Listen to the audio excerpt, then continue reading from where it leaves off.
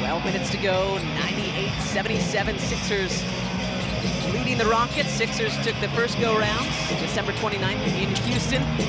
Tobias Harris and Tyrese Maxey led the way in that one. Maxey had 42, and he's going to get whistled for the travel on that possession. Yeah, you see it? You're, yeah, you're nodding your head. Yeah, he tried.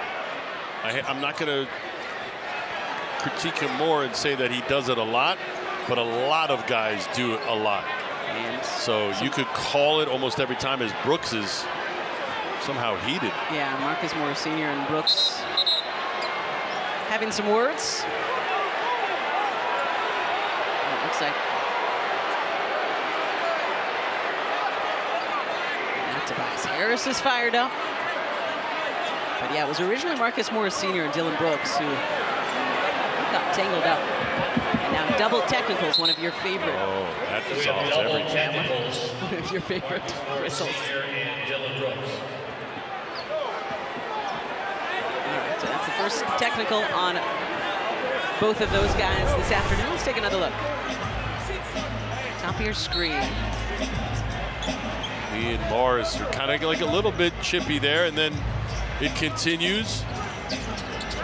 Right there is when Morris looks like he's had enough.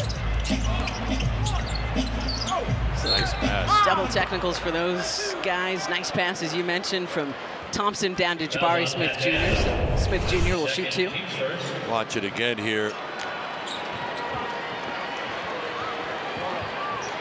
Brooks just trying to get under people's skin. Smith Jr. Brent Haskell trying to get in the middle of those two.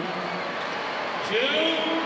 Joel Embiid getting set to check back in for the Sixers.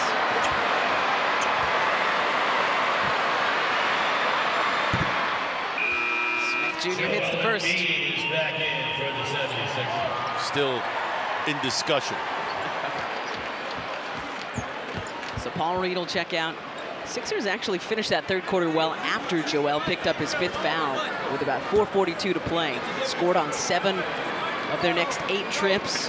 So a 17-9 finishing kick to that third quarter. And that was a Paul Reed team with no Tobias.